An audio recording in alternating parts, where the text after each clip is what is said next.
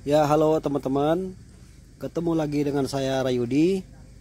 Terima kasih teman-teman sudah mampir ke channel ini ya. Kita berikan doa dulu nih buat teman-teman yang menonton. Semoga diberikan kesehatan sesehat-sehatnya. Ya teman-teman Diberikan juga kelancaran ya dalam segala aktivitas rutinitasnya. Dan juga teman-teman dilimpahkan segala rezekinya. Amin amin amin di video kali ini saya mau bahas sedikit mengenai mobil Suzuki Esteem. Ini mobil sedan lama ya teman-teman, Suzuki Esteem 1300cc tahun 95. Nah, ini mobil beberapa hari yang lalu ya. E, pemilik mobilnya ini menelpon saya kondisi malam hari ya. Mobilnya ini mogok, e, tidak bisa langsam ya teman-teman. Jadi saya ditelepon untuk mengecek apa kerusakannya dan pada saat itu saya temukan mobil ini ternyata ada permasalahan di karburatornya. Jadi lepas gas mati ya teman-teman. Nah singkat cerita malam itu saya akalin aja. Dia masih bisa pakai beberapa hari ke depan. Nah ini dia sudah ada waktu. Jadi sekarang saya mau bongkar ya. Sekaligus saya mau berbagi dengan teman-teman bagaimana caranya kita membongkar karburator ini ya dan membersihkannya. Simak terus ya teman-teman. Sebelum itu jangan lupa teman-teman untuk menemukan tombol subscribe ya. Dan ayo kita langsung mulai saja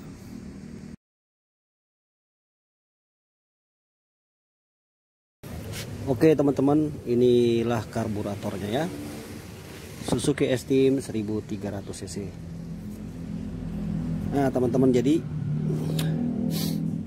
Ini coba lihat. Ini pompanya. Jadi kalau saat pagi hari kita kan suka mancing bensin ya Supaya mobil mudah dihidupkan. Nah jadi ini kalau saat kita memompa gas ya Sekali dua kali maka ini pompa akan ikut bergerak tuh ya. Nah nanti di sini ada yang kecil di dalam ya untuk menyuplai si bensin. Jadi dipancing masuk ke manipol ya. Kemudian di sini ada switch langsam. Ini ini ada kabel satu. Ini kabel DC 12 volt ya teman-teman. Ini untuk mengontrol langsamnya.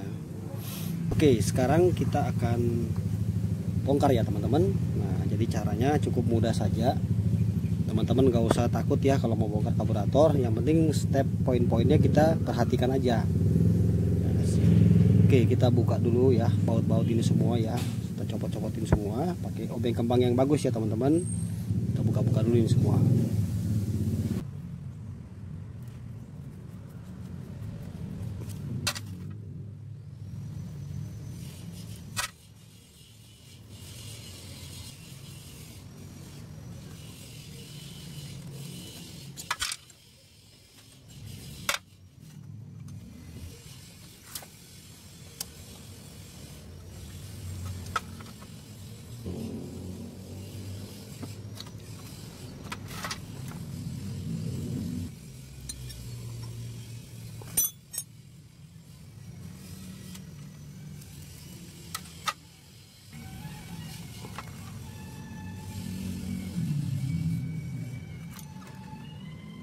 teman-teman. Ini udah saya buka seperti ini dalamnya.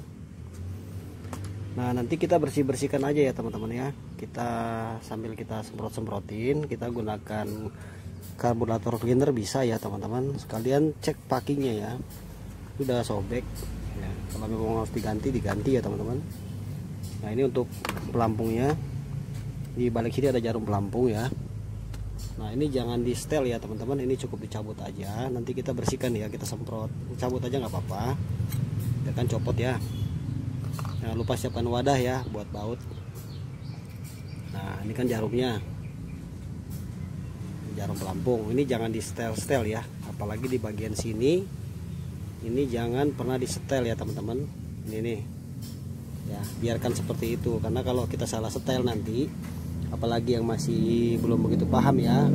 Nanti bisa banjir takutnya teman-teman ya. Oke kita bisa pisahkan seperti ini. Nanti kita semprot di sini ya. Terus bisa juga main jetnya. Di sini ada untuk langsam dan gas ya. Teman-teman lihat di dalam. Ya. kalau memang harus dibuka dibuka ya teman-teman. Dalam sana dari belakang walis ini kita bisa buka. Kita bisa semprot semprotin pakai karburator cleaner ini setelan angin ya dibuka aja semua ini. Karena banyak sekali kotoran pastinya yang nyumbat ya teman-teman. Kita buka aja sampai copot. Di setelan anginnya kita copot aja semuanya ya. Kita lepas.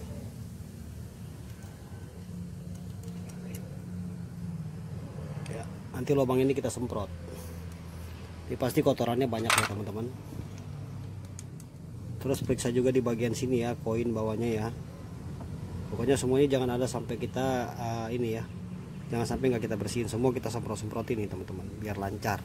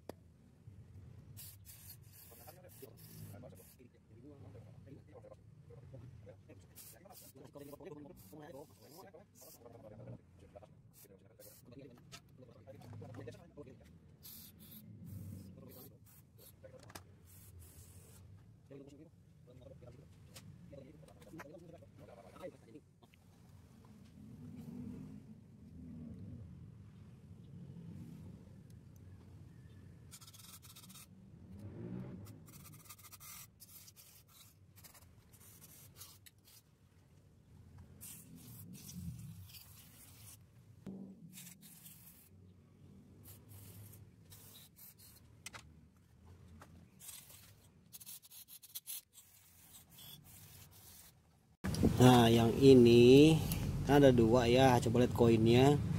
Yang ini kan lebih kecil ini lebih besar. Nah ini kita menggunakan ya pada saat kita masih ada di kecepatan di bawah 100 ya teman-teman. Contoh gini ya kalau kita gas Nah yang terbuka hanya ini aja satu ya.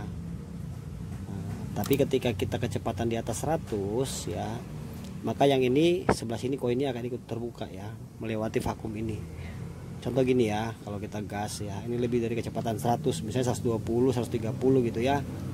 Nah ini nanti ikut buka ya teman-teman. Di sini ada vakum. Nah narik dia ya. Nah ya nah barang kan? Nah gitu kalau udah kecepatan santai diturunin lagi dan tutup lagi. Nah jadi teman-teman jangan lupa periksa ini ya karena terkadang di sini suka bocor nih. Karena ini tidak bekerja pada saat kecepatan rendah ya kalau di bawah 100 ini masih belum kerja sih biasanya ya teman-teman ya. Nah kadang di sini suka bocor. Sehingga bisa mengakibatkan uh, tidak bisa langsam benar ya si mobil itu koin-koin ini. Nah itu sebabnya kita harus semprot-semprotin semua ya supaya bersih betul. Teman jangan lupa cek packing ya. Kalau ada yang sobek kayak gini ya lebih baik diganti ya teman-teman. Nah, supaya jangan sampai nanti ngempos udaranya ya atau bensin nanti bocor. Jadi saat kita buka karburator kita bersihkan gini ya apa yang kita anggap di sini memang bermasalah sekalian kita rapikan ya teman-teman. Nah terus ini jangan lupa ya switch langsamnya ini. Nah nanti ini kita cek ya menggunakan DC 12 volt. Jadi yang ini naruhnya di akimin yang ini plus ya. Jadi saat ini ditempel ini harus narik sama bunyi ya tek tek. Nah itu berarti normal ya teman-teman. Kalau ini dikasih DC nggak normal ini min ya ini min ini plus di aki aja langsung nggak apa-apa ditempel aki min ini plus. Kalau ini nggak narik nah ini switch langsam harus diganti. Kalau nggak nanti mobilnya nggak bisa langsam. Bersih ya kita bisa rakit kembali ya. Nah kalau untuk masang jarum pelampungnya tinggal gini aja ya. Jadi sekali lagi ini jangan di setel-setel ya bro. Ini jangan di setel-setel karena ini fungsinya untuk batasi bensin yang masuk ya jadi seberapa banyak bensin yang masuk dibatasi sama dia. Ujung ini kan ada ininya nih. Nah, ya jarum ya. Di sini tuh ada per di dalam. Ini nggak usah dibuka-buka nggak apa-apa. Tinggal masukin begini aja nanti. Ya. Nah udah masuk kan? Nah udah. Kita tinggal masukin aja. Ini ya. Nah terus ini jangan sampai bocor ya teman-teman. Hati-hati ya. Kalau ada keropos-keropos pelampung ini ganti aja ini nggak boleh masuk apa pun sama sekali ya nama juga pelampung kan oke langsung kita rakit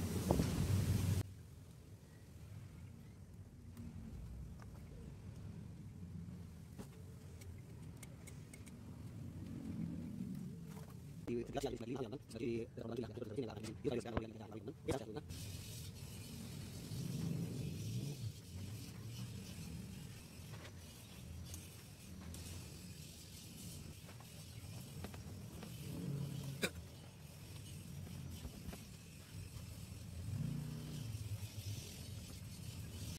ini sudah selesai ya. Jadi kita rakit semua jangan sampai nanti ada yang ketinggalan baut ya. Saat bongkar perhatikan baik-baik supaya pemasangannya lagi benar ya teman-teman ya. Nah jadi ini sudah ter, sudah saya pasang semua tinggal kita langsung pasang ya. Kita langsung coba kita cek dulu di manifolnya seperti apa. Nah ini kan manifolnya ya. Kalau packingnya ini rusak ya sekalian diganti ya teman-teman bisa bikin pakai packing TBA ya teman-teman. Nah karena kan di sini ada air nih satu ada selang air. Nah sebenarnya ini sih untuk heater ya untuk nyala pada saat pagi hari supaya uh, mesin bisa ngegas dulu diatur baru setelah itu dia akan dingin sendiri ya. Jadi kalau packing ini bermasalah ya diganti aja atau dibikin pakai TBA ya teman-teman supaya jangan ngempos di sini. Oke berarti ini sudah saya bikin packing langsung kita pasang ya packing barunya sudah saya buatkan. Nah, sekarang langsung kita pasang si karburatornya. Ini satu ada selang untuk air ya di belakang satu. Perhatikan teman-teman. Ini sudah ya langsung kita pasang aja. Ya untuk setelan anginnya ya ini belakang setelan angin. Ya ini di sana ya teman-teman madapnya. Pasang aja teman-teman. Harus pas ya ya sudah masuk. Nah seperti itu. Baru kita baut-bautin lagi semuanya ya. Ini ada baut dua kan? Oke kita baut semua lalu kita pasang-pasang selang-selangnya ya. Oke teman-teman ini sudah terpasang ya karburatornya. Nah jadi coba perhatikan ya teman-teman. Ini kan selang ya untuk dari tangki masuk sini ya selang. Kalau udah jelek diganti aja ya, takutnya bocor ya pecah. Kemudian ini untuk solenoid ya untuk AC ya. Ntar kita sambung ke sini ini AC di bawah sini solenoidnya terus kabel gasnya di sini.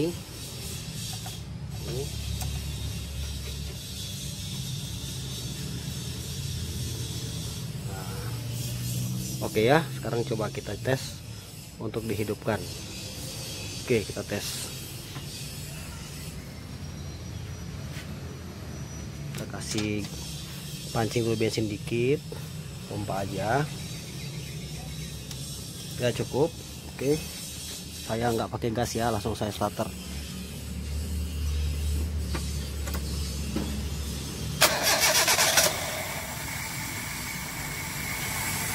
Nah, langsung nyalakan langsung bisa langsam. Langsung enak ya. Nanti kalau udah panas ya tunggu sekitar 20 menitan ya. Kalau bisa sih tunggu sampai kipas fan utamanya hidup ya yang sana. Kalau kipasnya sudah nyala sudah panas baru kita nanti setel anginnya ya di sini. Jadi kita putar dulu kunci ya. Kondisi langsam gini ya kita putar tutup sampai dia mau mati kalau udah mau mati baru kita kendorin dua atau tiga kali. Nah cara nyetel gitu aja. Terus yang ini untuk setelan gas ya teman-teman. Nah ini untuk setelan gas. Kalian kalau mau buka-buka busi bersihin sekalian ya teman-teman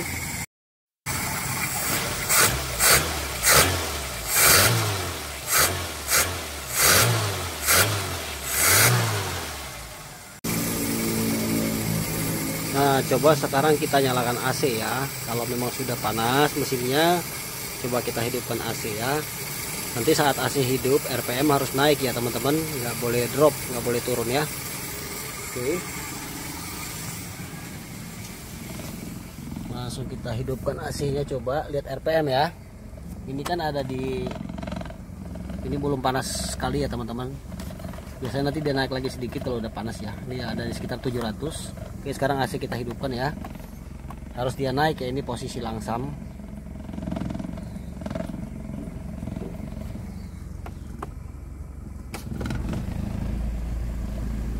Nah naik ya. Kalau kita turunin kita matikan dia harus turun ya teman-teman. Nah berarti pemasangan selang vakumnya bener ya nggak ada yang salah. Oke ya, mantap kan? Nah, oke okay, teman-teman, jadi demikian aja video saya kali ini. Selamat mencoba, semoga berhasil ya teman-teman ya. Terima kasih sudah menonton. Nanti kita ketemu di video berikutnya. Salam sukses buat kita semuanya. Jangan lupa tekan tombol subscribe. Bye.